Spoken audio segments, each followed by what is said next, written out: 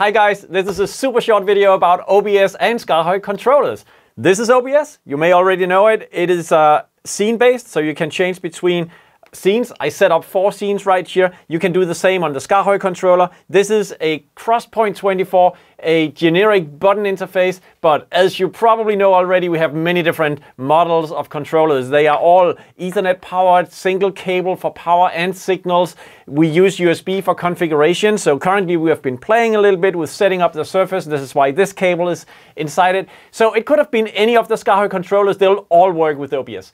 Now, OBS is a software, if you didn't know, that is very useful for uh, streaming, but you can also set up compositions like this. So uh, streaming and recording is often how it will be used in a larger context. So imagine you have an ATEM switcher or some vision mixing system. The output of that one could go into OBS and be streamed. So there are certain deliverables which are just no-brainers. We need to start stop streaming, start stop recording, scene changes. And that's what we have right here.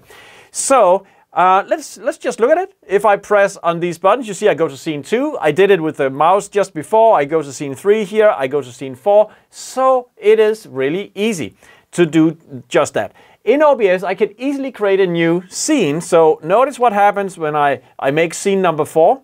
Um, Okay, we just name it scene number four. And on the controller immediately, scene number four is now selected. You see uh, it is selected. It's also named. So here you see the utility of the OLED displays on SKAARHOJ controllers very, very clearly.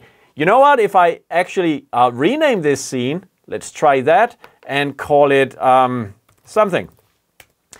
Then immediately the label is of course updated on your SKAARHOJ controller because that's what we do. We make it seamlessly integrated with the things we control. So that is one thing about scenes. Um, let's see what happens if I change the order of scenes. Hmm, order of scenes changed, right? So that's another very useful thing about this integration. On these two buttons, we have recording and streaming start and stop. So when I press this one, you see recording starts in OBS, and when I press it once again, recording is stopping. And likewise, if I press the streaming button, I can start streaming and I can stop streaming in the exact same way. That's basically what I wanted to show you for the SKAARHOJ integration with OBS.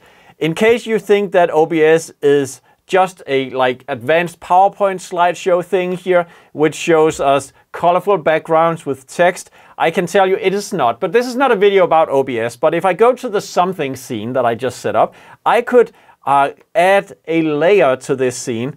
So by simply going here, adding video capture device, uh, let's call this webcam, okay, I select my current webcam right here, hello, and press OK, this is now inserted and a part of my composition. So again, I can change between this one and the other scenes by using my SKAARHOJ controller, as you can see. And that's basically it. Those of you knowing OBS knows that this is very, very useful. And keep in mind that on this device, you could have it integrated with a PTZ control and live streaming devices, video routers and everything. And that's what we're about integrating control of many devices into a single control panel to make seamless user-friendly integrations.